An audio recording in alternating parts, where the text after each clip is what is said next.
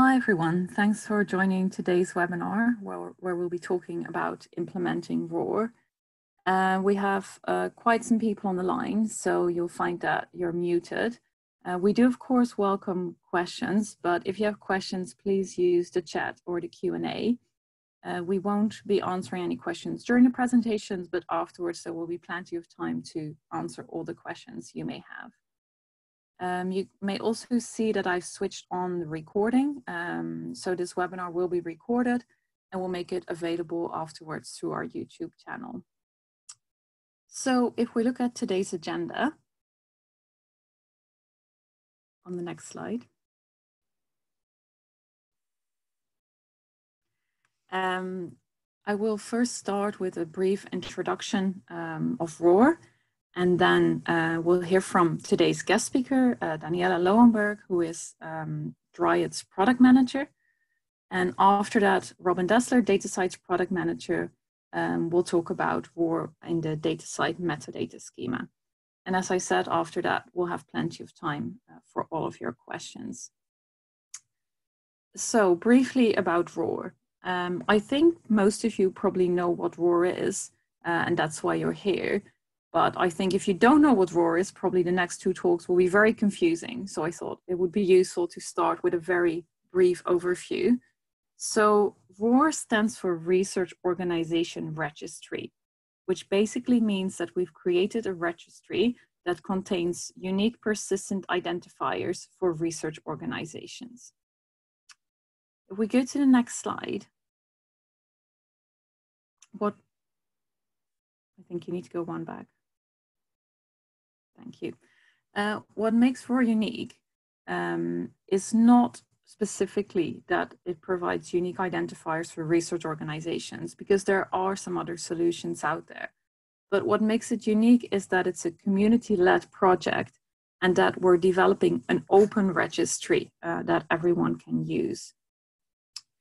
Um, so the project partners are Crossref, DataCite, and CDL, uh, with help from Digital Science, um, who contributed their GRID database. Uh, but it's not just these organizations working on ROR, it's really a community initiative. So we have a large group of community advisors.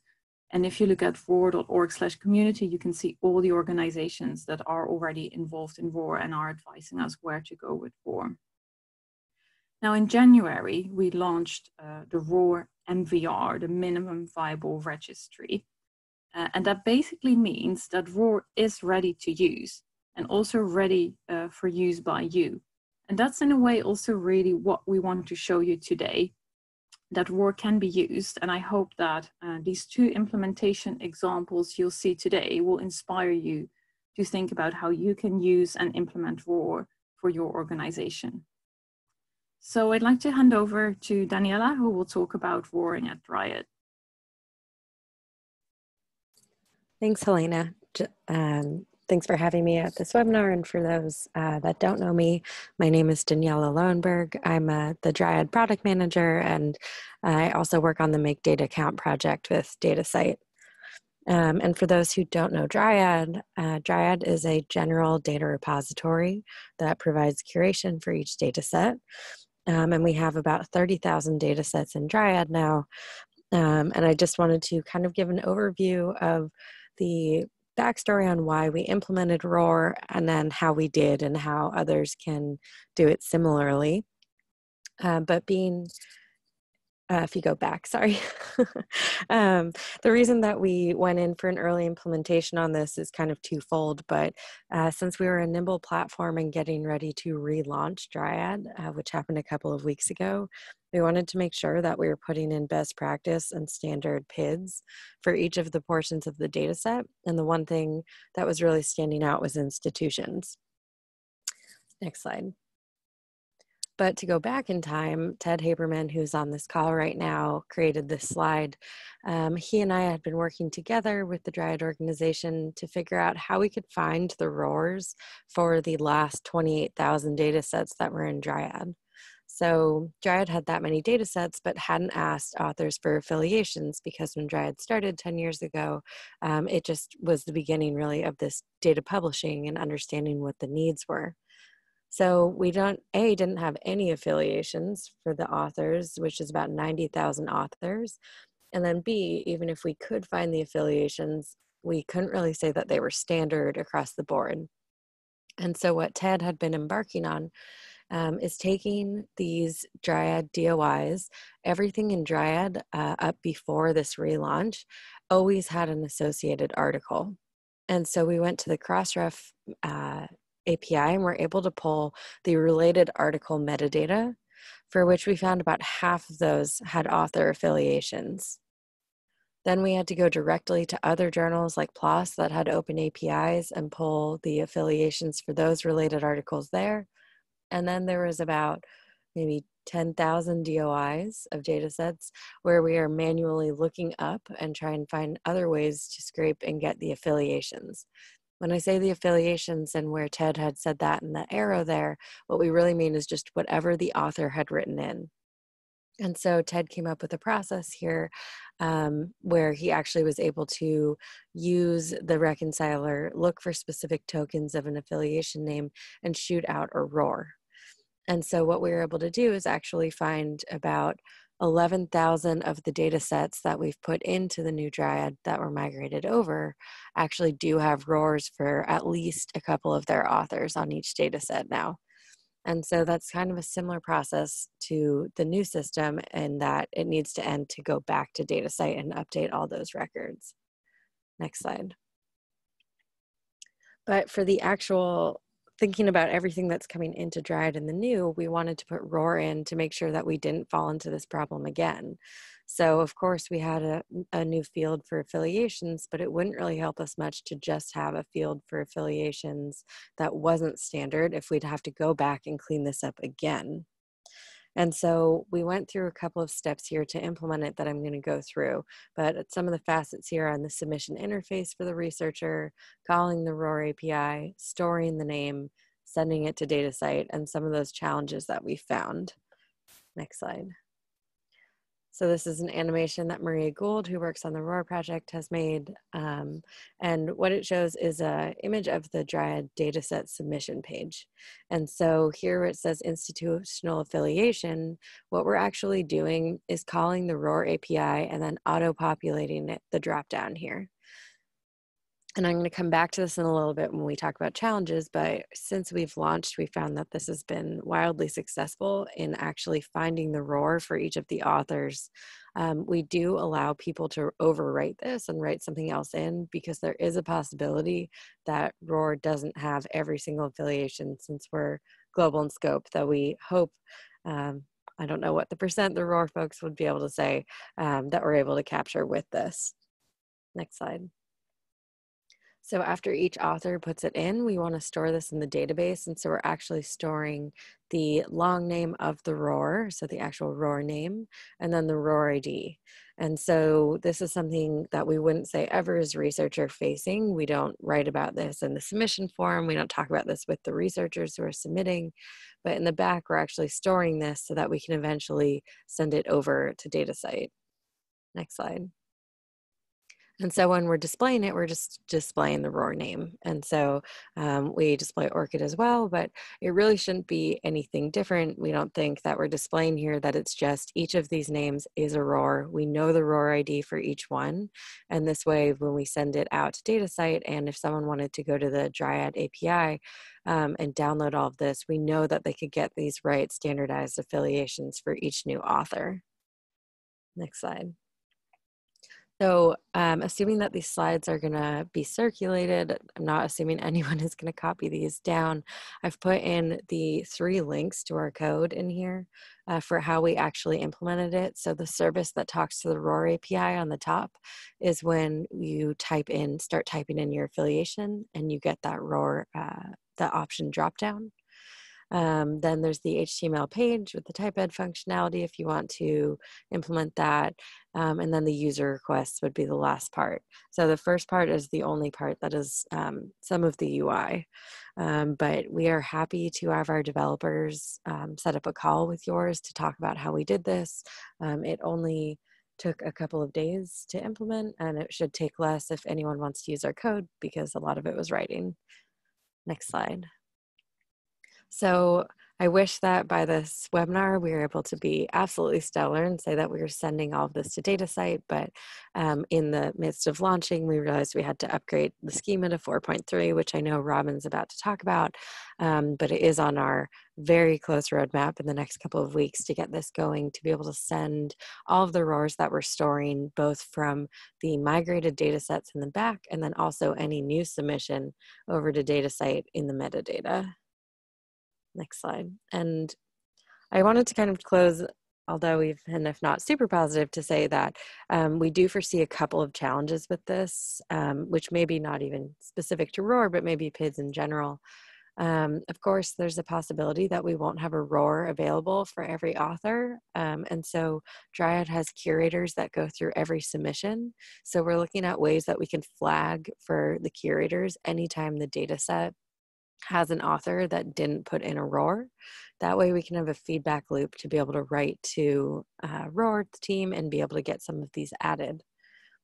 There's also a possibility that people could put in the wrong ROR, And so we could um, have this this problem where um, they meant to click something else or you uh, type in your institution and then you see one that sounds kind of similar um, but it may not actually be the exact um, and then there's, uh, of course, we've seen a couple of times where people have maybe typed really fast or um, other reasons that they put they evade putting in a ROR, but we actually know a ROR exists. And so a lot of this relies on us having curation and we want to think about how we can kind of scale this and give a lot of feedback back to the ROR project so that repositories who aren't curating would have um, a better interface to be able to work with this, um, especially thinking about the search results. Um, when I had said that on that animation that Maria had made of typing Queen's University, the um, the right one was actually the third option. And so we're noticing that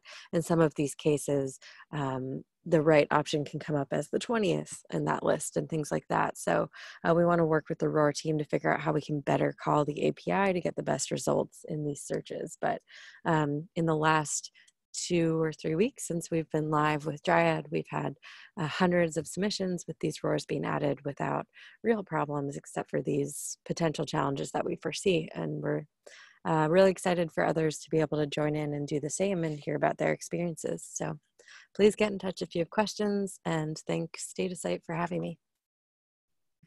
Yeah, thanks a lot, Daniella. That was really great to see this example.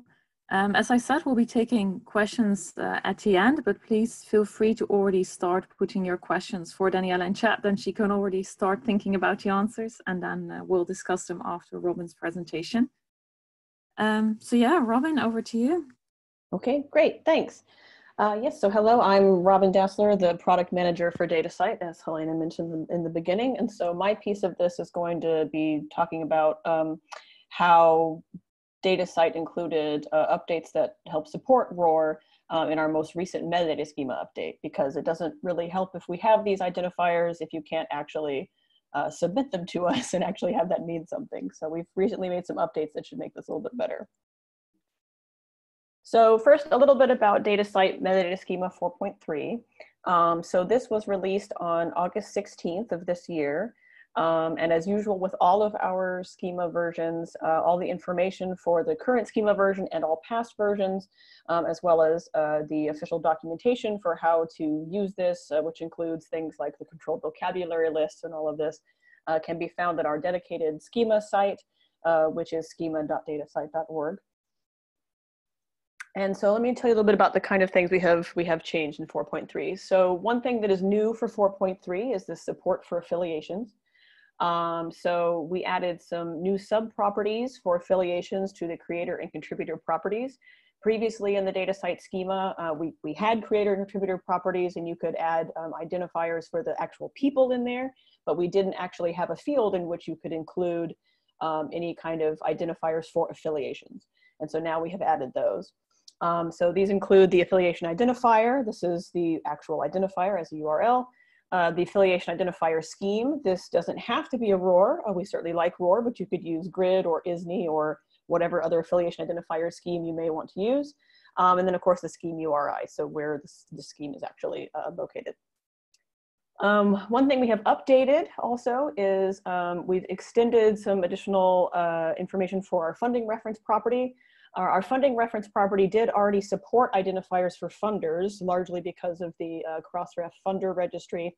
But in 4.3, we've explicitly added a ROR to the list of controlled values for the funder identifier type subproperty. So now you can also submit a ROR for a funder. Um, and we've added a new subproperty for the scheme URI uh, to, again, support where the scheme is actually located.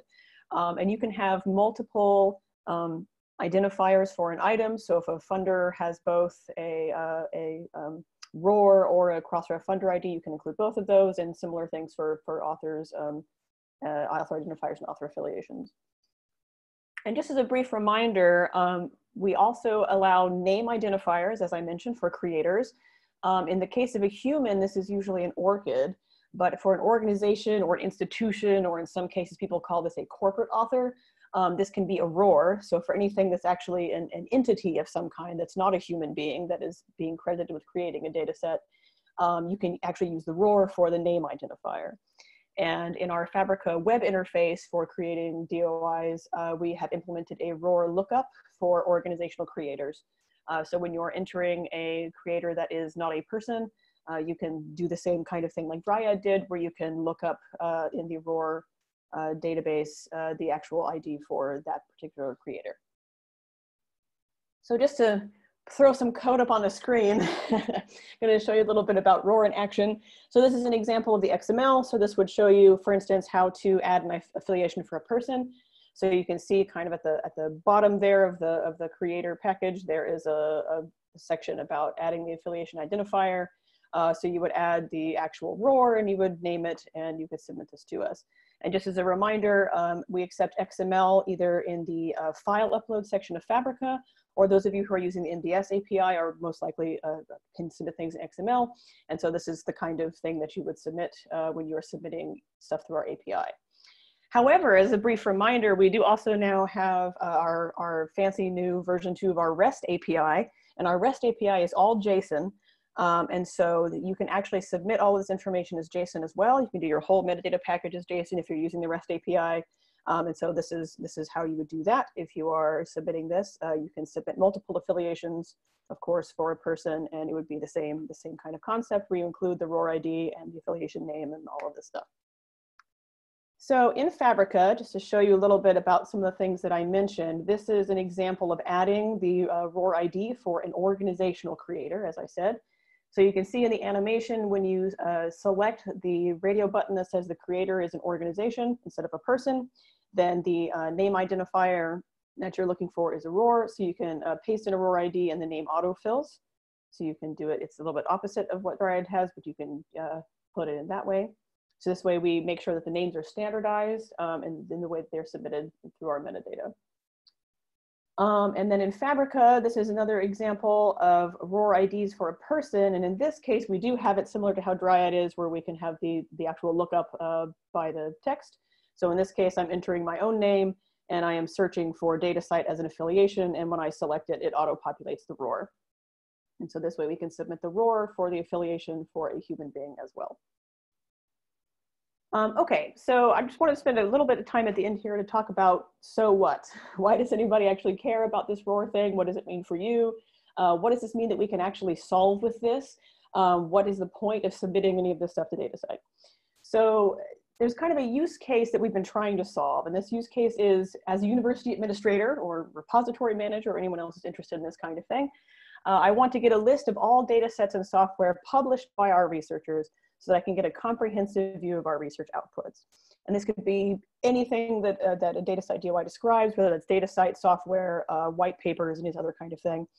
Um, and this has been a problem that has been unnecessarily hard for too long. This sounds like a relatively easy thing to solve, but it has been a bit difficult. And primarily this has been because we couldn't definitively say who these so-called our researchers actually were because of the way people put in uh, way people enter in different uh, not matching names or um, the way maybe we don't know certain uh, names are associated with a particular entity and all this. So just defining who our researchers actually are has been unnecessarily difficult for too long. So what ROR actually helps you do, uh, ROR then definitively identifies your institution, no matter how many names it has, so you can make sure that all of your authors are affiliated with the right place. And so the idea of having a specific identifier that identifies an institution rather than just entering the name is that you know you are linking to the same institution that is uniquely identified no matter what name someone would normally have put in as their affiliation just in a free text field when they're submitting an article and etc. And so what, what we really see this, we see this as a key component of this concept of the PID graph that some of you may have heard from some of our other webinars um, that really helps us link all this stuff together.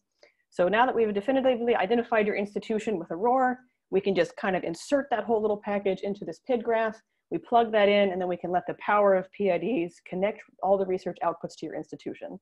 So by knowing definitively that someone is associated with your institution, we can then in turn, through the power of all these connected PIDs, know that their publications are then associated to them, which are then associated to your institution.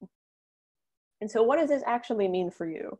So this particular use case we were trying to solve, please show me all of the information that my authors have, have created, uh, and please show it to me now. This has been very hard to solve for all this time. And now here is an example of using our GraphQL API to do it in 40 seconds. And this is actually me typing this in. So pardon the bad typing. It might have actually been shorter, except I had to go back and remember where some of the brackets actually go, as is commonly a problem. But here you can see I'm identifying particular organization, and I'm asking the GraphQL interface, this particular visual interface, to give me the name of that organization, the total count of all the data sets that are associated with it, and then to please show me the ID and the title of each of those data sets. And once that is finished, I run it, it thinks, and there you go. And there it is. That particular group had one had 109 data sets. So they're kind of an early adopter of some of these. Uh, yes, and so that is what ROR can do for you. And so that is all we had today, and we will now welcome your questions, and I'll turn it back over to Helena to, to wrangle the questions. Thanks a lot, Robin. It was really nice to see an example of what you of the kinds of questions you can now answer using ROR. Um, so I've already seen some questions come in. So let me go back to the first question that came in at the end of Daniella's talk. Um, that question was my screen is moving now. Is it a best practice to go back and update all the records that use an earlier version of the DataCite standard to the latest one? Um, well, I guess in a way that is a question for both Daniella and Robin. So maybe to start with Daniella. Daniella, would you welcome it if researchers using Dryad go back and update their Dryad um, outputs? I was wondering if the question was more about are we doing the wrong thing or the right thing? Oh. um, going back and updating the RORs for the former researchers who submitted. And so I would say point that back to DataCite. Maybe you guys can shame us or tell us it's okay. but I mean, but I think, yeah, I, I agree. That's part of the question. But are researchers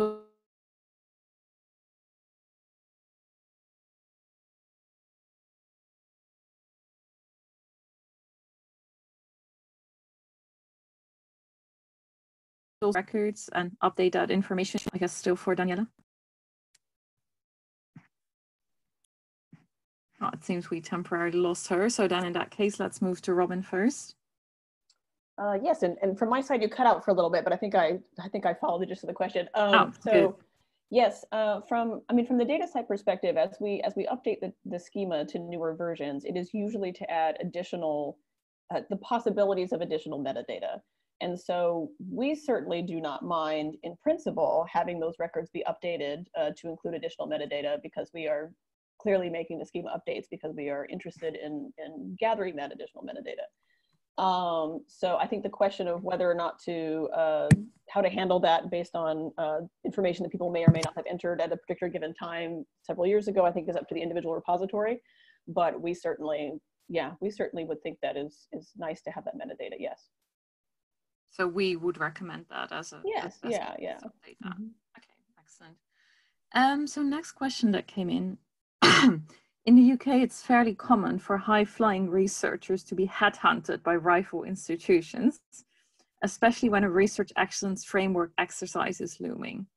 how does ROR handle researchers changing affiliation or indeed having multiple simultaneous affiliations? Um, well, maybe that's actually a, a question for ROR's product manager, who fortunately we have on the line as well. So Maria, I don't know if you maybe want to comment here.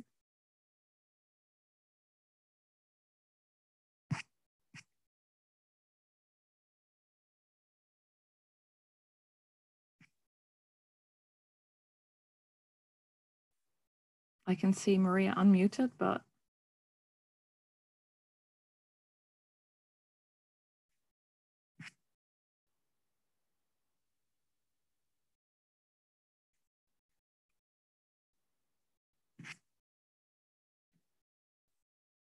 Okay, maybe we move to the next question for now. How does ROR handle organizations that can be considered sub-organizations of a larger organization. Ah, Maria saying, sorry, not sure my sound is working. She will type an answer in chat. So let's go back to some of the other questions. Okay, in Dryad, what happens when authors want to enter a department as part of the organization? Will the overall organization be extracted or a new ROR created for each department sub-organization? So Daniella, maybe you can say something about that. Yeah, I think it's a question larger about ROR than it is about Dryad, really. Um, and I, have heard Maria say it enough, so she can correct me if I'm wrong, but um, ROR is at the institutional level and not at the department level. Um, and I think the ROR project knows that it's a need, but right now it's really not about sub organizations and it's about having a, a uh, identifier for the top level institution. And so, because that's ROR scope, that's what we've put in. We've considered adding other fields in Dryad to get departmental affiliations, but they would not be standardized.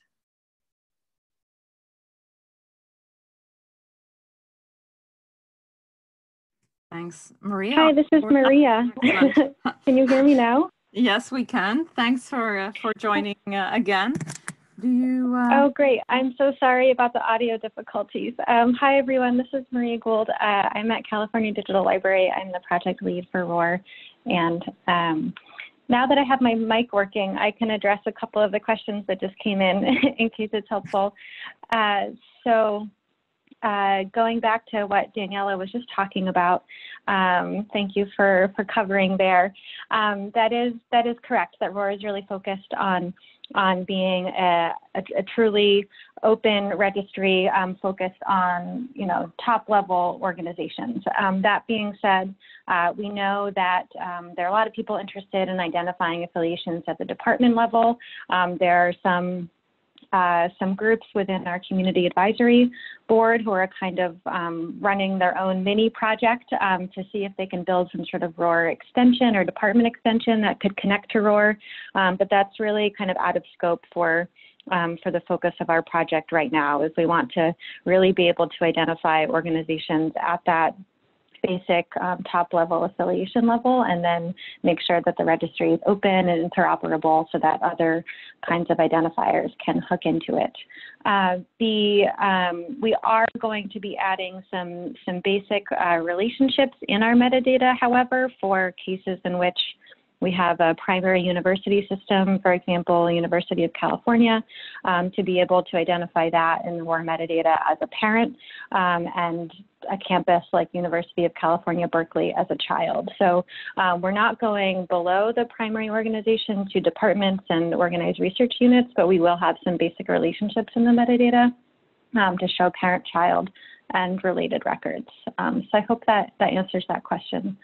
Um, I'm going to go back and then I'll turn it back to you, Helena. Um, but happy to field more. To the first question about multiple affiliations, I think that that's, uh, it might be helpful to think about that as um, in the case that's being described here, where researchers have um, changed an affiliation or having multiple affiliations, uh, the thing that I would frame this around is that ROR IDs are for institutions. And so they're not they're not for researchers. Um, they're for institutions, and so the ID for that institution is not going to change. Uh, and it's kind of going to be incumbent upon um, you know other kinds of other kinds of systems and PIDs that connect into ROR to kind of address how those changes are reflected over time.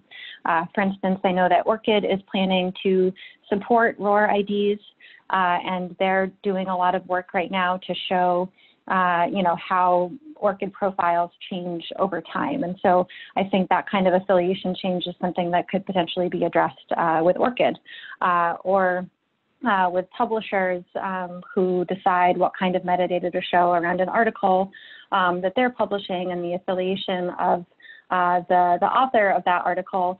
Um, it's kind of a publisher decision to determine uh, which affiliation of the author to display. So I hope that that addresses um, that particular question about how affiliations can change over time. thanks, that was great. I think I do have another question uh, for you. Um, can you discuss the differences between the various identifiers? ROR seems to show GRID, ISNI, Crossref Funder, and Wikidata. And what's the status of ORCID research organizations?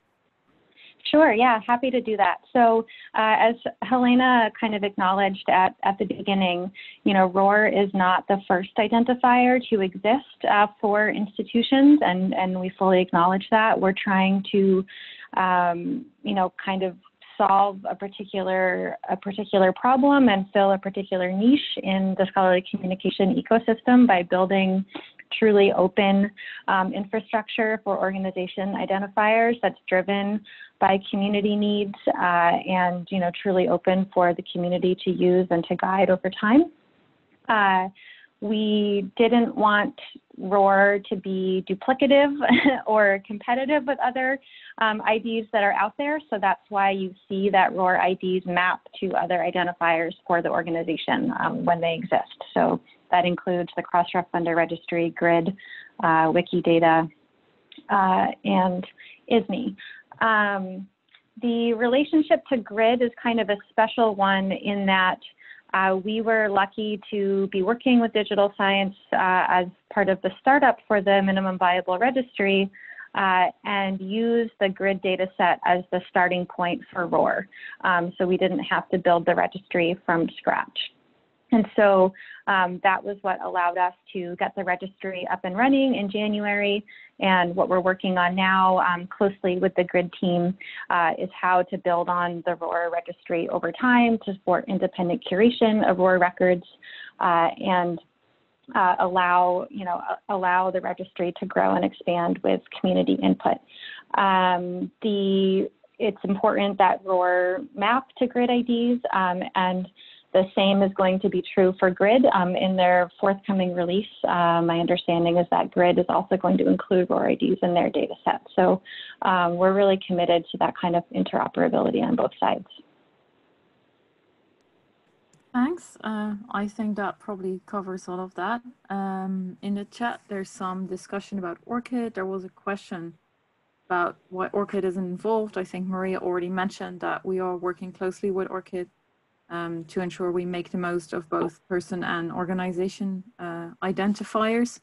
Um, it's mentioned that ORCID, the ORCID API supports start and end dates for affiliations. Um, and someone asked whether multiple simultaneous affiliations are also possible. So I think people are helping each other here. And then I think we have another question for Daniella. Um, does Dryad support multiple affiliations for the same author on a single paper? Thanks, Ted. Um, no, right now we are not. I think people could um, ask us if they wanted to add multiple, but um, in the couple of weeks of implementation now, it's been one to one relationship. But uh, we wanted to see kind of what researchers were saying um, and see if that was something that we needed to add um, after it's out there and they're using it.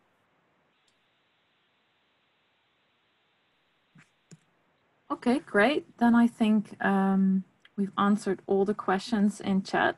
Um, if you have any questions following this webinar, if you wake up tomorrow morning and you suddenly want to know more, uh, ah, I see another question coming in, so we don't have to wait until tomorrow morning. Let's see. I think the person is still typing. So we'll give them a couple of seconds. Um, and Adam just responded to the question about uh, the ORCID API, saying that he doesn't think there's currently any check on affiliations. Um, and here we have a question. What do the units do that cannot find the autofill for the value? How do you report a missing organization? I guess that's probably also for Maria. Yeah, so if this is uh, not so much about Dryad, but just in general, if you see that there uh, is an organization that you think belongs in ROR that you don't see in ROR, uh, right now you can email info at ror.org uh, to suggest that we add it to the registry. And we're in the process of establishing a community curation board um, to review those kinds of requests going forward and um, ensure that the additions meet the, the criteria for the registry and, and so forth. So that's the best way at the moment. Um, we'll have some sort of form uh, in the future uh, that, that people can use to submit those suggestions as well. Uh, for the Dryad uh, for the, the Dryad case, if there's a missing organization when somebody is submitting to Dryad, that's going to be kind of built into the uh, into Dryad's curation process, um, as as far as I understand it. So as Daniella was mentioning, uh, the the Dryad curators will pass on that kind of feedback to the ROR team to um, to say we've flagged these affiliations that researchers are entering that don't seem to be um, present in ROR so that we can consider adding them. Um, I think as a follow-up, I see the question, if we are members of ISNI or something else, can we go that route? So I guess some kind of mapping.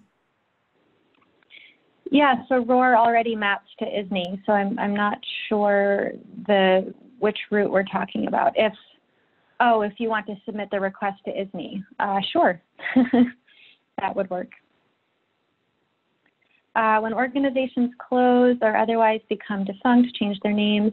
Uh, so the, the ROR IDs are, are stable and persistent. So those IDs are, are not going to change. And then uh, what we do want to do is support curation so that we can reflect those changes to organizations over time while keeping the IDs themselves uh, stable and persistent. So uh, we will, uh, you know, be determining how to how to show uh, what changed in a record and, and, and when and perhaps why and those kinds of um, curation and provenance decisions. But with the with the IDs themselves, we want those to be, uh, you know, obviously um, those those won't change so that we can always have that to um, uh, to connect to. Thanks. I just realized I actually missed a question in the Q&A, so let me ask that now. I think it's probably for Robin, uh, based on the time uh, when it was asked. Um, is it possible to add more than one affiliation for one author when submitting metadata? I believe so, yes. Okay, good. All right then I think that this time we've really answered all questions. Um, as I was starting to say, feel free to get in touch with DataCite, uh, with Dryad, or with ROR if you have any questions about any of the things you heard today. Um, we'll be making the recording available uh, on our YouTube channel, so feel free to share it with other people that are interested in ROR. Uh, and thanks a lot for joining us today. And thanks, uh, Daniella and Robin, uh, for your talks, and Maria, Maria for stepping in and answering all these questions. Uh, it was really great to hear from all of you. And uh, I hope to see everyone again uh, for the next Data DataCite webinar. Thanks, everyone.